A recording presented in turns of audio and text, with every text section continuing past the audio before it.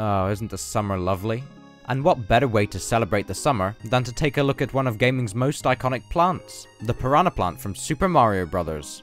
I'm Kaihatsu, and today I'm going to be taking a look at the design of this... Whoa!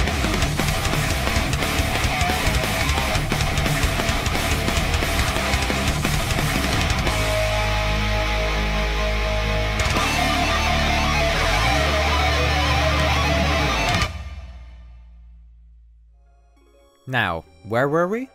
Oh yes, today I'm going to be taking a look at the design of the Piranha plant. The Piranha plant was first introduced in Super Mario Bros. for the NES, and appeared as a green spotted Venus flytrap looking plant.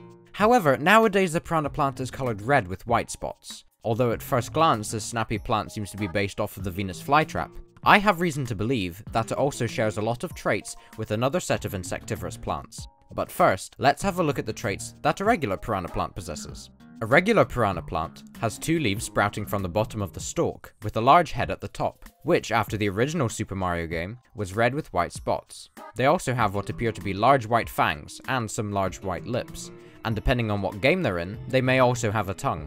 If we compare the common piranha plant with the Venus flytrap, we can see that they have a similar head shape, and the fangs of the piranha plant could be seen to be similar to the cilia on the edge of the flytraps. However, there are a number of other traits possessed by the piranha plant that don't seem to be shared by the Venus flytrap.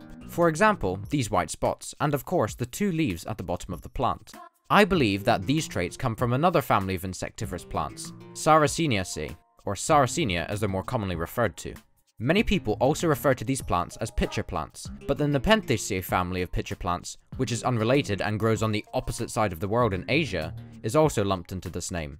So I'll refer to these as Sarracenia for the rest of the video. Sarracenia are passive traps, as they have no moving parts like the Venus flytrap, which is considered an active trap. Sarracenias are filled with a digestive fluid which is very similar to the one found in our stomachs. The traps are made up of a special leaf folded into a tube shape, which attracts insects with nectar. When the insect arrives to take the nectar, the slipperiness of the peristome makes the insect fall down into the pitcher, and the microscopic downward pointing hairs on the inside of the pitcher prevent the insect from getting out. It then slowly drowns, and is then digested. Some other members of the Sarracenia family, such as Darlingtonia californica, Sarracenia psittacina, and Sarracenia minor, have small white windows on their pitchers, which are meant to act as false exits, so that any prey that enters the traps will get confused about which way is out, after being unable to exit through the hole that they came in through due to the design of the traps. After slowly exhausting themselves by struggling to find their way out, the prey will fall into the pit below and drown. Or, in the case of the Sarracenia psittacina, sharp downward pointing hairs force the insects to move further down into the plant, as turning back would mean getting impaled. As it approaches the base of the trap, it enters an area with digestive fluid, where it gets stuck and slowly dies. Jeez, that would be such a horrible way to go. Just thinking about it makes me shudder. Anyways, I believe that the white spots on the piranha plant are meant to serve the same purpose. And I also think that it's possible that the large white lips of the piranha plant are a type of peristome, the leaves and the lump at the bottom of the plant's stem could have been inspired by the fact that the rhizome of the Sarracenia plant can sometimes be seen sticking out of the top of the soil, as well as the fact that during the winter, Sarracenias produced regular leaves in order to photosynthesize, while not losing energy by producing traps.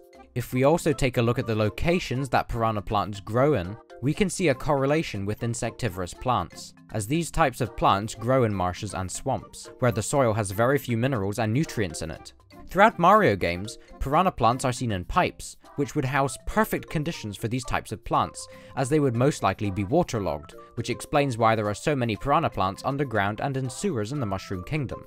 But you're probably also wondering how piranha plants end up surviving in cold environments like these. Well, Sarracenias, Venus flytraps, and sundew plants can all survive in cold frosty conditions, and one variety of the Sarracenia, the Sarracenia purpurea, grows all the way up to the tree line in northern Canada, and is very good at adapting to cold climates.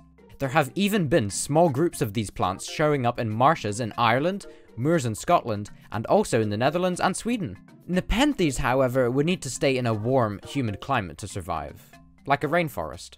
Another surprising fact about the piranha plants is that they probably aren't intentionally looking to eat Mario. Insectivorous plants are often called carnivorous plants in the media, but don't let that fool you. These plants have evolved over time to catch insects, and eating anything bigger may not be a good idea. Some species of larger Nepenthes, such as the Nepenthes rajah, sometimes catch small rodents, but this is not intentional and would most likely result in the killing of the trap, due to the overabundance of salts and minerals. Too much at once could kill the whole plant. If a piranha plant was to eat Mario, all of the salts and minerals present in his body would probably end up killing the piranha plant itself. So, is the piranha plant really based off of more than one plant? Or is it just the result of the carnivorous plant stereotype? Leave your answers in the comments below. And before you go, I have a question for you dear viewers. I have been growing my own insectivorous plants for many years, and right now I have a Sarracenia purpurea without a name. So I want you to come up with one. Comment your name ideas below and in the next video, I'll pick the best ones to be pitted against each other in a vote. See you next time!